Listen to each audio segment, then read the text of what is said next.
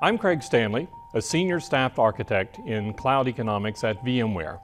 Every day it seems we get news of costs increasing on everything from consumer goods and services to fuel and energy. Energy is a fundamental component of nearly every operational transaction, whether it be in heavy manufacturing, transportation, or even keeping the lights on in the data center. Today we're on the brink of an energy challenge that could have a significant financial impact on the IT data center.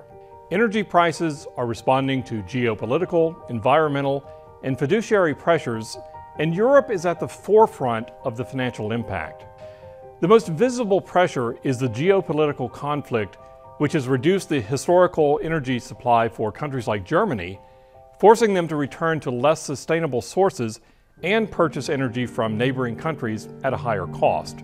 The second pressure on energy costs comes from supporting climate change initiatives. Lower cost energy solutions are being replaced by higher cost but more sustainable choices. However, this also reduces the supply as the rising demand for more electricity to support electric vehicles and the demand from homes and businesses transitioning from gas and oil further burden the electrical capacity.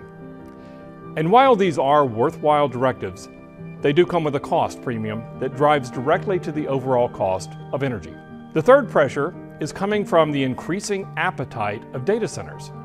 In a 2020 study by the European Commission, they estimated EU data centers accounted for 2.7% of electricity demand in 2018 and would reach 3.2% by 2030 if consumption continued at the same rate. Lastly, inflationary pressure is the fourth factor driving energy price increases as buying power decreases. The resulting tighter monetary policies and actions further reduce operating funds available for business operations. So what does the energy pricing landscape in EMEA look like? Historically, we have seen the cost of electricity remain relatively stable from 1998 through 2020, ranging from a low of less than 10 cents per kilowatt hour to about 16 cents per kilowatt hour. In 2020, the global COVID-19 pandemic drastically altered the world's business operating models and prices remained flat. But in 2021, electricity prices began a rapid climb, increasing by 20% in 2021 and by another 150% in 2022, partly fueled by the restrictions on energy from Russia. According to Statista, the average electricity prices in June 2022 for EMEA countries ranged from the lowest being Poland, with an average price of 18 cents per kilowatt hour, to the highest cost in Denmark, which is at 53 cents per kilowatt hour. The result is that energy prices in EMEA have increased at a compounded annual growth rate of 21.5% since 2019. So, what does the future hold? With the economic pressures on energy prices that we mentioned, there's no indication that these prices will not continue to rise.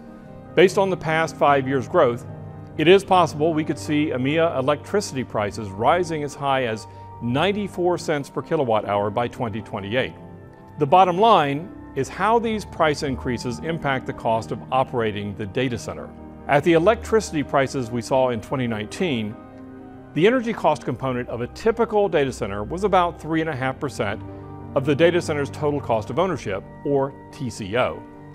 But as this simulation shows, rising electricity costs result in the energy cost component increasing significantly.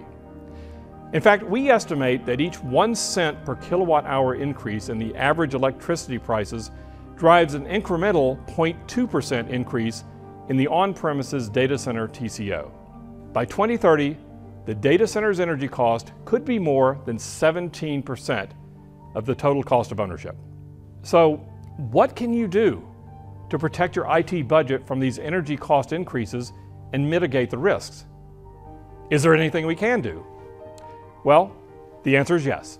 The simplest solution is to lock in the electricity prices at today's rates and shift the driving efficiency to lower economies of scale challenge to someone else. The best way to do that is to move your data center applications to the cloud.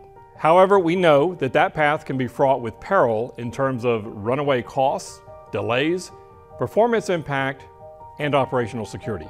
But what if there was an underlying unified cloud infrastructure that could essentially virtualize the cloud layer itself to provide a common and consistent management plane connecting any cloud to any application? Well, there is, and it is the VMware multi-cloud approach delivered by VMware Cloud. VMware Cloud provides the unified infrastructure, management, security, and workload mobility environment to support traditional on-premises workloads on all the major cloud providers. So whether you prefer your applications on AWS, Azure, Google, or Oracle Cloud, the migration path is simplified, consistent, and far faster than traditional rehosting and refactoring. And VMware Cloud provides the same management, security, and deployment platform across them all, virtually removing the need for specialized skills and training. Let's consider the energy impact on a typical TCO. In this example, we use the power price for Germany as of May 2023. The facilities costs, which include power and cooling, represent 18% of the data center's TCO, which is up from 12% when the energy prices were only 10 cents per kilowatt hour. By leveraging fewer, more energy efficient servers and running in world-class power utilization efficiency, or PUE, data centers, we estimate this data center could reduce their net CO2 emissions by as much as 73% per year. When we drill into the energy cost alone, we see a three-year cost of nearly 477,000 euros. Now, if prices rise as high as 1 euro per kilowatt hour, the total power and cooling costs could exceed 1.1 million euros. If these workloads were platformed on VMware Cloud, the power cost could be a direct savings to the data center. In this price projection, this represents a 126% increase over current electricity rates. Is that a cost you want to absorb into your data center budget when there's an effective way to avoid it? Well, let's wrap up. We've seen the recent rapid increase in energy prices over the past five years driven by conflicts, climate initiatives, data center growth, and global inflation. And there doesn't seem to be any new inexpensive, clean, renewable, and safe energy sources coming to the market in the near future. The best thing we can do is to find ways to reduce energy consumption, and we believe VMware Cloud is the fastest and best risk-averse way to do that. Based on the price performance of the past five years, we could see electricity prices in EMEA rising by as much as 21.5% per year. That means that by 2028, the power and cooling cost of the average EMEA data center could be as much as 16% of the data center's TCO. We believe that VMware Cloud gives our customers a way to get to the cloud faster and easier, reduce your data center TCO cost by an average of 30 to 32%, Protect your budget and operating expenses from short-term energy price increases and reduce your net carbon footprint.